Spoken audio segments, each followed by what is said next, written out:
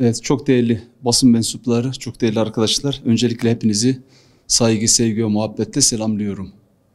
Bugün 10 Temmuz 2020 Cuma. Bu vesileyle sizlerin ve tüm İslam aleminin Cumasını tebrik ediyorum. Son günler e, biraz dikkatli olarak yaşadıklarımıza, konuştuklarımıza baktığımız zaman görüyoruz ki toplum psikolojisini olumsuz etkileyecek olayları daha yoğun yaşamaya başladık. Daha yoğun konuşmaya başladık. Ve bu iklimde solmuş olduğumuz hava da tüm insanlarımızın üzerinde olumsuz etki gösterir vaziyeti aldı. Öyle olaylar yaşıyoruz ki gerçekten şaşkınlığımızı gizleyemiyoruz. Hatta öyle olaylar yaşadık ki artık şaşıramayacak hale geldik. İşte son günlerde kamuoyunun gündeminde olan Hasan Keyif olayı. Neresinden tutalım? Neresinden konuşalım?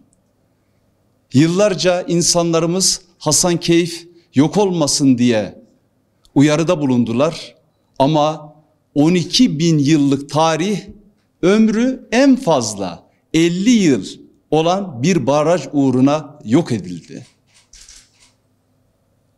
Daha dün Kaz Dağları para uğruna yabancı şirketlerin katletmesine göz yumulacak şekilde onların inisiyatifine terk edildi. Ormanlarıma, ovalarıma, dağlarıma termik santralleri kurmayın. Altın madenleri açmayın diyen insanlar zorla susturulmaya çalışıldı. Değerli arkadaşlar Türkiye 2001-2017 yılları arasında 425 bin hektar ormanını kaybetti. HES'lerle dereleri, derelerin aktığı gölleri kuruttular. Türkiye'nin en verimli tarım arazilerini sulayan nehirlerde artık zehirler akıyor.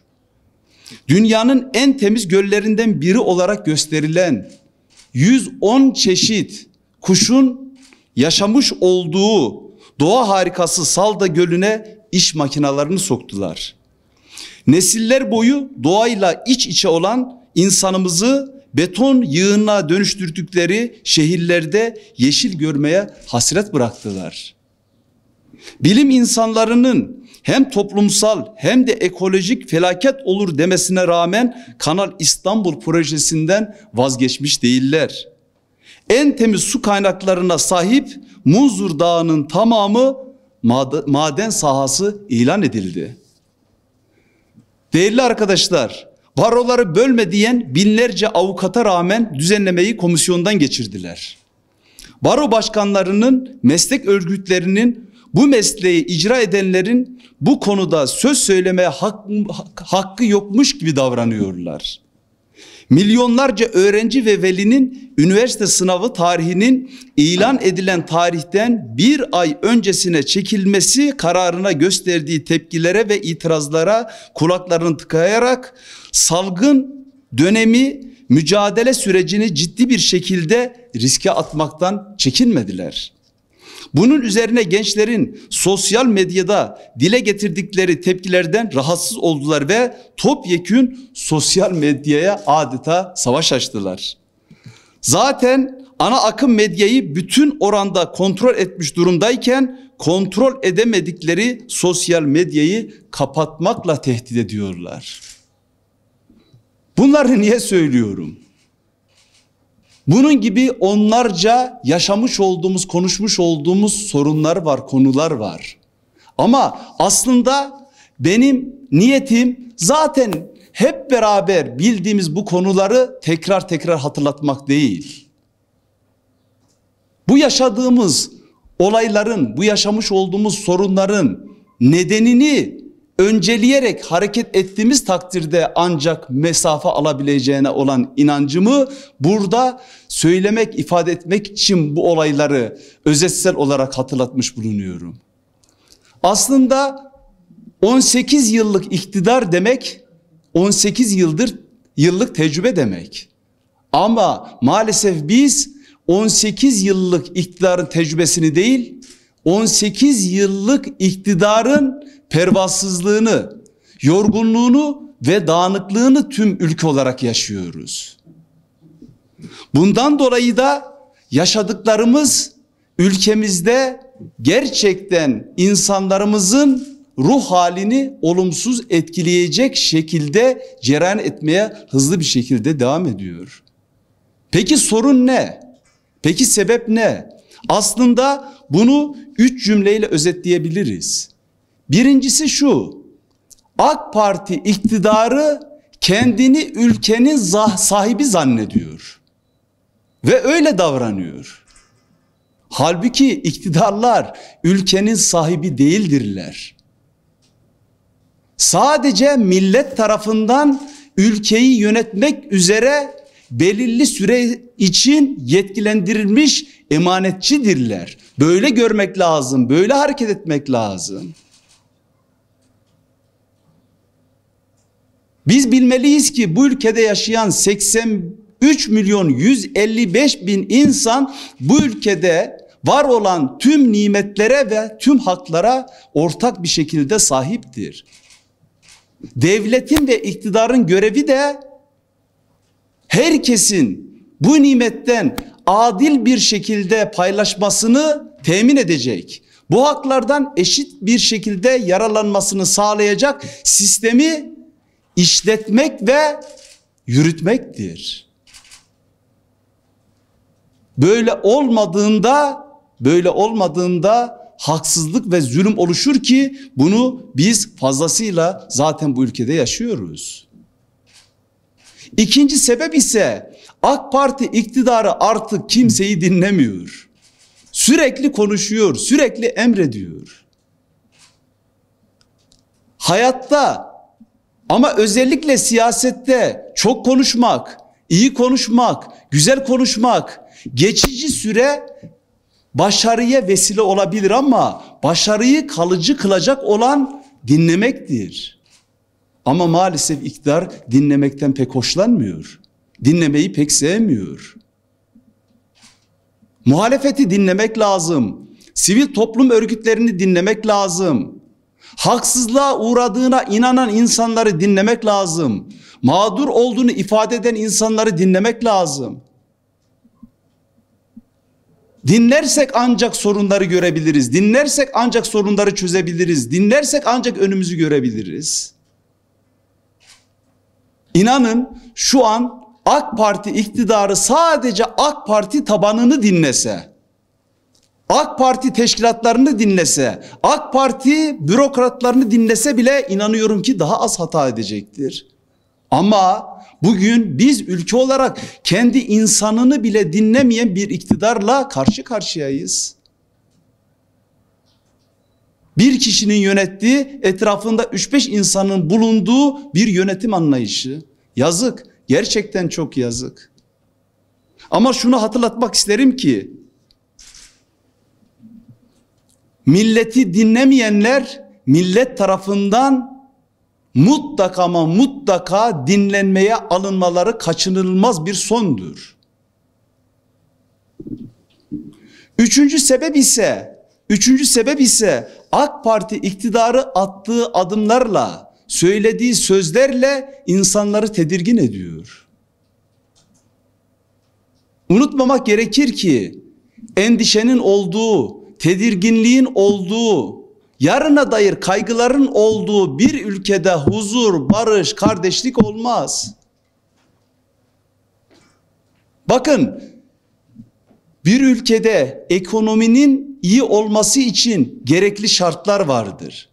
Ama bu şartların içerisinde en önemli ve olmazsa olmaz olanı güvenliktir.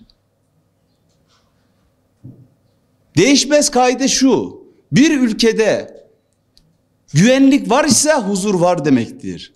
Güvenlik ve huzur var ise bereket var demektir. O nedenle bizler bu ülkede herkesin kendini güvende hissedeceği bir iklimi oluşturmak mecburiyetindeyiz. Zengin ile fakirin, aynı oranda kendini güvende hissettiği bir ülkeyi oluşturmak mecburiyetindeyiz. Türk, Kürt, Çerkez, Laz ve herkesin kendini aynı oranda güvende hissedeceği bir ülkeyi oluşturmak mecburiyetindeyiz. Müslümanların, Hristiyanların, Yahudilerin aynı oranda kendini güvende hissedeceği bir ülke oluşturmak mecburiyetindeyiz. Kadın ile erkeğin, genç ile yaşlının, çocuklarımızın aynı oranda kendini güvende hissedeceği bir ülke oluşturmak mecburiyetindeyiz.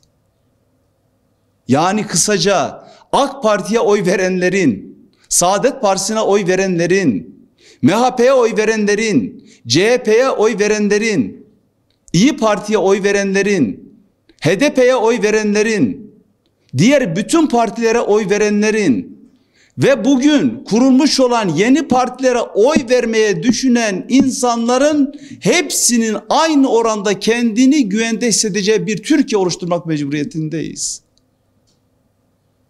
O zaman göreceksiniz bu ülkede diğer sorunları çözmek çok daha kolay olacaktır. Bu ifade ettiğimiz ortamı oluşturmak için gerekli olan kalıp, gerekli olan maya, gerekli olan tecrübe zaten bu topraklarda var.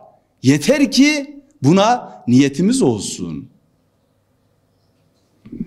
Değerli kardeşlerim, değerli basın mensupları, son olarak da geçtiğimiz hafta Sakarya'daki havai fişek fabrikasındaki patlama nedeniyle bir kez daha Türkiye'deki iş güvenliği ve işçi ölümleri yeniden gündeme gelmiştir. Ben bu vesileyle yaşanan patlamada hayatını kaybeden yedi, yedi vatandaşımıza Allah'tan rahmet, ailelerine başsağlığı, yaralananlara da acil şifalar diliyorum. Birkaç gün önce Sakarya'daki havai fişek fabrikasında patlamanın araştırılma önergesinin AK Parti ve MHP oylarıyla reddedilmesinin üzerinde henüz çok az bir süre geçmişken havai fişek fabrikasındaki patlayıcıların imha edilmesi sırasında üst 3 askerimiz şehit olmuş, 11 askerimiz ve bir işçi de yaralanmıştır. Askerlerimize Allah'tan rahmet, yakınlarına başsağlığı, yaralılara da acil şifalar diliyorum. Bu yaşanan vahim olaylar Türkiye'deki işçi sağlığı ve güvenliğin sağlanmasına yönelik ciddi politikalar oluşturulması ve yaptırımların uygulanması gerekliliğini bir kez daha hatırlatmış oldu. Ancak mesele kazalar olduktan sonra sorumluların tutuklanması değil, iş sağlığı ve güvenliği konusunda eğitimlerin ve tatbikatların düzenli şekilde yapılmasından geçiyor. Denetimler esnasında bildirilen ihlallere cezalar uygulanarak kazaların önüne mutlaka ama mutlaka geçilmelidir. Bakın İş Güvenliği Meclisi tarafından 2011 yılından beri hazırlanan raporda 2019 yılında en az 1736 işçinin 2020 yılının ilk 6 ayında ise en az 934 işçinin yaşamını yitirdiği tespit edilmiştir. Türkiye'nin yaşadığı derin ekonomik kriz işçileri daha güvencesiz şartlarda çalışmaya mecbur bırakmakta. Vatandaşlarımız her geçen gün işsiz kalma ve iş bulamama korkusuyla yaşamaktadırlar. Bu korku neticesinde iş yerlerinde yaşadıkları hak gasplarına ve zor çalışma koşullarına karşı seslerini çıkartamamaktadırlar. TÜİK'in açıklamış olduğu işsizlik ve enflasyon oranlarını artık Türkiye'de ve dünyada kimse maalesef üzülerek ifade ediyorum itibar etmiyor. 2000'lerin başında kişi başına düşen milli gelire göre Türkiye'nin gerisinde olan Rusya, Arjantin, Çin ve Polonya'dan sonra Avrupa'nın en fakir ülkesi olarak kabul edilen Romanya, Bulgaristan'da ilk kez Türkiye'yi geçmiş durumda. Ülkemiz bu fotoğrafları, bu görüntüleri, bu yaşananları hak etmiyor. Bundan dolayı biz istiyoruz ki iktidar 18 yıllık tecrübesini kullanarak insanlarımızı dinleyerek yeni dönem ve yeni süreci daha sakin, daha dikkatli yönetsin. Buna ülke olarak ihtiyacımız var.